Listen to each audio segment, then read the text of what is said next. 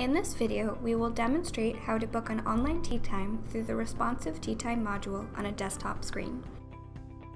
One of the great features about the responsive tee time module is that making a booking on a desktop or a mobile view works the same way. There are two ways that we can go ahead and book an online tee time. The first option is to use the select date, which provides us with a calendar of dates we can choose from. Now the other option of selecting a tee time is also utilizing the date tabs across the top. And you can easily navigate through these dates using your left hand arrow or your right hand arrow. Then at the very top of the tee sheet, you'll notice that you do have some search parameters. The first one available is your golf course. So depending on the golf courses available from the club, you are able to choose what golf course you want to view specifically, or if you want to view all courses. The time of day lets you specify whether you're looking for a time that's any time throughout the day, a morning time, afternoon, or an evening. And the show dropdown allows you to choose between seeing all times that are within the tee sheet or only available times. As you're looking through the tee sheet itself, any times that are not available will be listed with not available on the left hand side whereas any tee times that are available, like you see here, will indicate the number of player spots that are still available. In order to book the tee time, you do have the option of utilizing this quick book option. This option is really handy because it allows you to quickly book a number of players, which will be marked with the TBD filler player, or choose any existing groups that you've created. But we'll circle back to this at the end of the video. Your other option is to click right on that tee time to make your booking. This will take us right into our Book a Tee Time window. Notice at the top of the screen on the left hand side, we do have a countdown in place. This is a timer that actually locks this tee time for us online and at the club, meaning that no one else can take this tee time while we are in the process of booking it.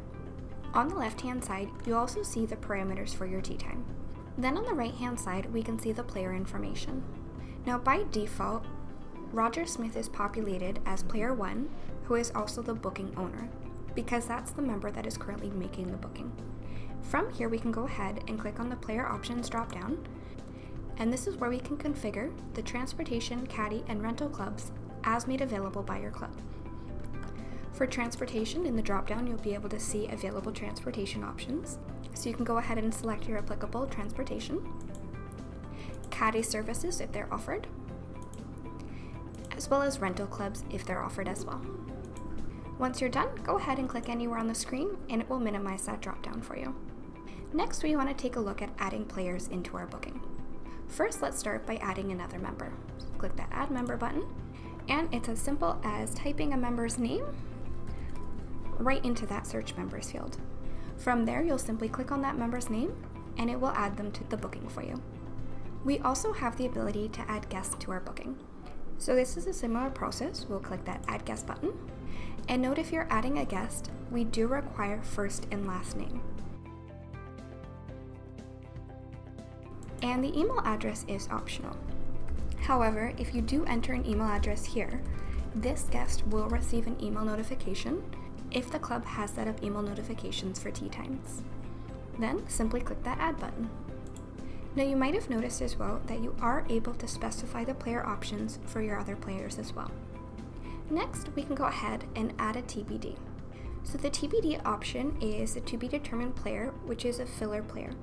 And this as well will be available based on your club settings. For this, simply click add TBD and it will add that TBD player for us. Just note that if you do add a TBD player, you are not able to specify those player options. If at any point you want to remove someone from your booking, simply click that X and it will remove them. Lastly, to add to our booking, we have the ability of adding a member or guest from our existing buddies and groups.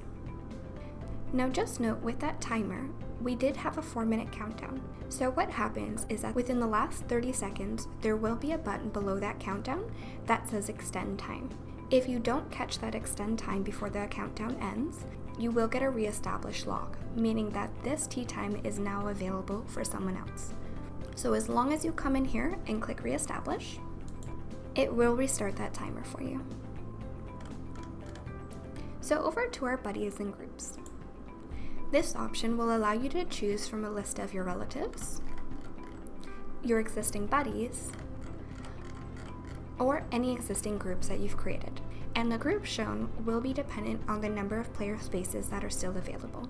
So if you want to choose anyone from your buddies list, go ahead and click their name, and it will add them to your booking for you. At the bottom of the screen, you also have an optional note section, and this is great for you to utilize if you'd like to leave any notes for your booking. So for example, I need some tees. Once you have everything set up, you're going to go ahead and click that Book Now button. Once you've successfully completed your booking, you will receive a booking confirmation right on screen. This will book the tee time in the online tee sheet as well as at the club for you. On the left hand side of the screen, you will be able to see all your booking details, including course, date and time, confirmation number, and players as well as their player preferences. On the right hand side, you have the ability to cancel a booking, print a confirmation, sync the booking to your personal calendar, send an additional email, or view in my bookings. If the club has enabled email notifications, Everyone in the booking that does have an email address on file will also receive an email notification. Now that we've gone through how to make a tee time booking, let's review how to make a tee time booking using that quick book option.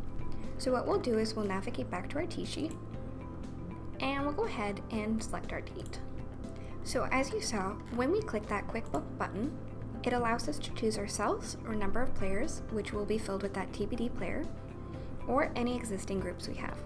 The neat thing about the quick book option is whether you choose the number of players or a specific group, it will actually pre-populate all those players here for you, so you don't have to worry about entering their name every time.